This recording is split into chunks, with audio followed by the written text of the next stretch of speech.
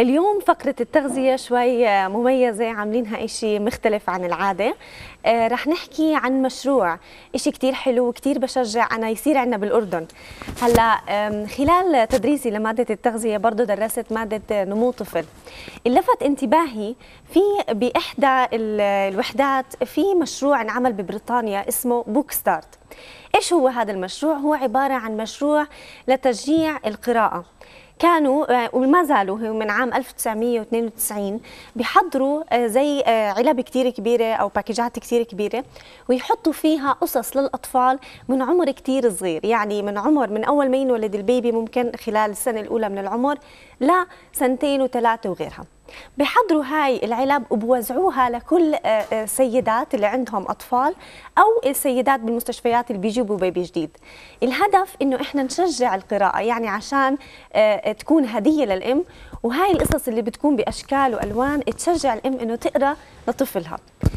فإحنا كمان اللي بدي احكيه إنه إحنا بنقدر نشجع أي قيم بدنا إياها عند الطفل من خلال القراءة والكتب. يعني إذا حاب نحكي للولد إنه ما بفطر ممكن نختار كتب فيها عن وجبة الإفطار. فعشان هيك عم نحكي عن هذا المشروع وعشان هذا السبب إحنا مستضيفين اليوم أو معنا طبعا آه، الكاتبة آه، سوزان غاوي. أهلا وسهلا. وبرضه كمان معنا في زميلتنا في كيفك في تمام تمام. أخبارك؟ تمام. طيب ف آه، زي ما حكيت أنا على هذا المشروع أنا اللي كان فكرتي إنه إحنا ممكن نهدي قصص وكتب آه، للأولاد ونحضر آه، يعني بوكسات ولكل إم إحنا حابين نهديها هدية. فبدل ما نهديها يعني مثلا قطعة أواعي أو أي شيء ثاني ممكن نهدي كتب. شيء أفيد يعني. شيء أفيد آه صح؟ صح. بيستفيد لأنه في عندنا كثير فوائد من الكتب. صح. مشروع كتير حلو وفكرة كتير حلوة. آه، بس بدي أذكر إنه إحنا اليوم محضرين آه، شو محضرين فيه محضرين زي ما قلتي ال package أو ال box اللي رح نحط فيها الكتب كهدية.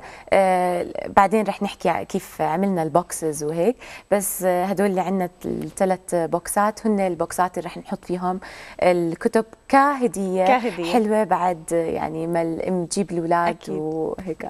طيب ومحضرين كمان هلا في عندنا بحكي لكل المشاهدين اللي حابب آه، يتصل معنا. إحنا عندنا أول ثلاث متصلين رح ياخذوا ثلاث جوائز إحنا محضرينهم آه، قدام. عبارة عن يعني مجموعة كتب مقدمة من مركز الكتب الأردني. حضروا لنا هاي المجموعات آه، مشكورين ورح نقدمها لأول ثلاث متصلين معنا. أول شيء خلينا نحكي مع الكاتبة سوزان غابي كيفك؟ تمام الحمد لله. طبعا الفتي كتب كثير وانبسطت على الكتب. أنا قريت كم من كتاب وأخذت كم من كتاب حكيت مع ابني في واحد عجبني أرنوبة. تحكي لنا أول شيء كيف كانت بداياتك بالكتابة؟ وليش اخترتي مثلا آه، إنه تختاري إنه آه، تكتبي قصص للأطفال؟ آه، هلا بداية أنا كنت معلمة وما زلت معلمة بس كنت في أدرس اللغة العربية في المدرسة الفرنسية. ومن خلال طبعا تجربتي وحياتي مع الأطفال ودراستي تخصص الأطفال كان عندي غيرة لأنه في عندنا نقص في الكتب العربي إنه في كتب إنجليزي في كتب فرنسي في كتب آه، بلغات مختلفة بس اللغة العربية كانت كثير قليلة. فهذا شجعني شجعني على إني أكتب. وقبل ما أبدأ في الواقع عملت كتاب تعليمي لغة عربية لصف أول ابتدائي الكتاب هذا يعني. فمن خلاله كان في قصص يعني من خلال الكتاب كان في قصص بتحكي عن مواضيع مختلفة. هذا شجعني بعد هيك إني أعمل قصص أطفال. آه عملت مجموعة آه قصصيه يعني. السيد سوزان بس معنا اتصال آه ونرجع بنكمل معنا. آه. نحكي ألو أم الياس. ألو صباح الخير. صباح الورد أهلا وسهلا. كيفك يا ربا؟ أهلين أهلا وسهلا. كيفك انت ما شاء الله عليك أنت وضيوفك منورينا الصبح thank you تسلمي. آه المواضيع كثير حلوة خصوصا اليوم بالنسبة للكتب للأطفال. آه بالفعل الطفل كثير بيستفيد. لما هاي المواضيع أنتم بتحكوها على التلفزيون ممكن بيساعد الطفل انه مثلا آه، يفهم بسرعة يحكي بسرعة آه، يستمتع بالألوان يستمتع بالمواضيع. والام كمان بتستمتع مع طفلها. بس حبيت أشكركم. وما شاء الله عليكي. إن شاء الله دائما تحطي مواضيع حلوة بتفيدنا يا روبا. شكرا لك هلا ام الياس أنت بما إنك آه أول اتصال معنا رح بحتي معنا أول جائزة من مركز الكتب اللي هي مجموعة كتب. إن شاء الله تستفيدي منها آه لأولادك. شكرا, شكرا لك كثير يا ربا تسلمي شكرا, شكرا. كثير. رح احديهم هدول لحفيدي thank you أهلا. شكرا. ربا تسلمي bye bye أهلا وسهلا. okay نكمل معك ست سوزان. آه طبعا من آه خلال تجربتي يعني وشغلي ودراستي م. حبيت إني أكتب قصص للأطفال وكان لي أهداف طبعا وما زالت. آه أول من الأهداف إنه يكون الخط كبير واضح حتى الطفل يقدر يقرأه من صف أول ابتدائي يعني بيهمني جدا. okay. إنه يكون خطوطها واضحة وكبيرة ومحركة. آه، طبعا الشغلة الثانية والمهمة كمان إنه يكون فيها هدف تربوي. أكيد. لأنه إحنا بنوصل دائما رسالة فكل قصة من قصصي فيها هدف تربوي. آه، من خلاله كمان بين الأسطر في عندي إهداء بكتبه كمان في أول القصة بداية القصة الإهداء كمان موجه للأهل. يعني في رسالة للأهل بين الأسطر. آه، أنا لما قريت قصة أرنوبة انتبهت للإهداء. أها. شيء لتشجيع إنه هي قصتها إنه إنه إنه لما ما نترك الكبار لحالهم بالضبط. ونهتم بتغذيتهم. ف يعني جملة الجمل اللي حكيتيها كثير كانت صح. حلوة. بعرفش إذا كمان شوي ممكن, آه، ممكن آه. نقراها ونشوفها. كانت كثير آه، حلوة. أوكي فمن خلال هذا الحكي طبعا بهمني إنه القصة توصل لكل الأطفال يعني. فبعملها بطريقة واضحة ورسومات حلوة يعني بسيطة يعني خلينا نقول يعني. فالسلسلة الأولى كانت تتكون من تسع عناوين. أها.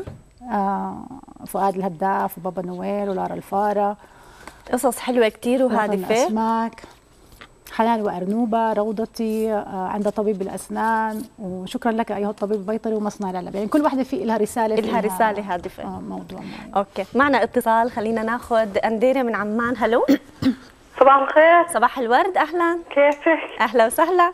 والله أنا عجبتني الفكرة كثير يعني لأنه بتعرفي في ظل الثورة التكنولوجية والإنترنت هاي الناس بعدت شوي عن المطالعة والقراءة وخصوصا الأطفال يعني.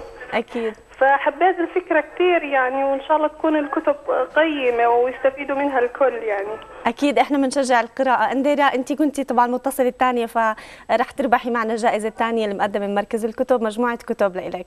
تسلمي شكرا لك أهلا وسهلا. أهلا شكرا. okay في هلأ إحنا حكينا آه هدفنا إنه الكتب آه نهديها. نعم. okay.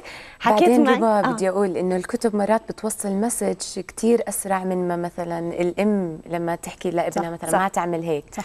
بس لما يقرأ الولد بال بالكتاب أو تقرأ له أمه القصة كتير ب- بصير أسهل آه، يرد عليها أو مثلا آه أنا بدي أعمل زي هذا الولد أو بدي أعمل زي هديك القصة. فالمسج بتوصل أسرع. هلأ أنا عندي ابن أنا لأنه ما بعرف يمكن بخ- من خلال تدريسي للمادة أم، حسيت إنه في فرق فلما بديت أقرأ له كنت أقرأ له يعني من عمر كثير صغير الناس يضحكوا علي إنه شو سبعة أشهر ما بفهم. في قصص حلوة. فهلا حسيت النتائج يعني هو لما صار يعني السنة الماضية كان يروح على زي preschool حضانة. فتيجي المعلمة تقول لي إنه انت بتدرسي أولاد ابنك بالبيت بقول لها لا ما بدرسه بس بقرأ له قصص. فبتحسي قد إيه يعني نشكر الله إنه يعني تعبي ما راح وإن شاء عشان هيك بتمنى إنه من هاي الحلقة إنه إحنا نشجع يعني حتى للي ما بفطر ابنه للي ما بيعرف خضرة وفواكه في أولاد ما بيعرفوا شو الباذنجان شو. لا بالقصص بتلاقيهم لا بدي من هاي بدي من بدي هاي أجرب هاي. بدي أجرب آه. هاي طيب شو حضرتي لنا في أول شيء نحكي على أول box آه خلينا نحكي على هاي بس ال box. في في اتصال. خلينا ناخذ الاتصال ونرجع. آه، معنا أم يوسف. hello. هلا مرحبا يعطيكم العافية. الله يعافيكي. أهلا. آه، أولا آه، حابة أنا كثير أشكركم على هذا البرنامج كثير الحلو وهالهادف يعني. فعلا. أهم شيء الكتب بحياة الطفل من هو صغره من علمه التدريس يعني هيك كيف يتعلم كيف توصل الفكرة عن طريق الكتب والرسومات المصورة. أنا عن جد بشكركم من كل قلبي يعني عن هذا البرنامج. شكراً. الله يعطيكم ألف عافية. شكرا أم يوسف. أنت المتصلة الثالثة وربحتي معنا ثالث جائزة مجموعة كتب من مركز الكتب. شكرا شكرا لك. لكم. شاكرة لطفكم. أهلا وسهلا. okay في نرجع لك. رح نحكي عن هاي ال box. مم. آه بنقدر آه يعني كنهدي كهدية مش شرط نشتري ال box. بنقدر أي box عندنا مثلا جبناه اجانا فيها هدية. صح. آه حتى هلأ رح نشوف ال box الكرتون اللي بنقدر إحنا نعملها recycling ونحط عليها أشياء وتطلع شكلها حلو ونقدمها برضه كهدية. آه هاي أنا زينتها بشبر طبعا هيك بالطول. وقصقصت من ورقة هدية. آه ورقة هدايا. آه ورقة أوكي. هدايا dag. Eh, alltså, alltså, قصقصت المربعات ولزقت عليها. آه، بنقدر نلزقها يا بالسيليكون يا بأي glue عادي موجود. موجود الغرا الأبيض. وحطيت هاي ال- ال bib ال- مريلة. المريلة.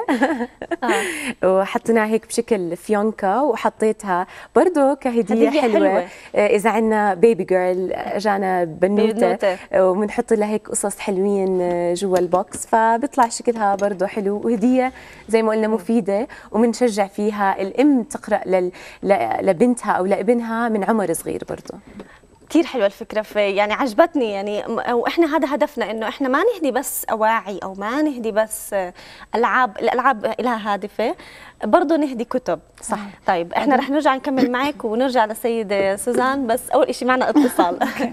نحكي ألو؟ ألو صباح الخير. أهلا وسهلا أهلين. كيفك؟ كيفك؟ أهلا ست مي. تفضلي. بس حابة آه، أشكركم كثير على هذا البرنامج الحلو. شكرا. واللي كثير مفيد. شكرا كثير لك بدي أسأل عن الكتب بتخاطب أي أي عمر من الأطفال؟ الكتب الموجودة قصدك ولا بالكتب بشكل عام ولا الكتب؟ الموجودة. okay. okay هلا بنجاوبك وبتجاوبك كمان الكاتبة سوزان. شكرا لك أهلا كثير. وسهلا أهلا شكرا لاتصالك. okay هلا أنا اخترت عدة كتب من عدة أعمار. في عندنا كتب أنا مختارة كتب هلا شوي لل... بتخص التغذية رح أحكي أكيد. عنها. أيوة. كتبك تفرجت عليها كتير حلوة. أه، تحكي لنا الأعمار ويعني كيف انت بتخاطبي أي أعمار بالضبط.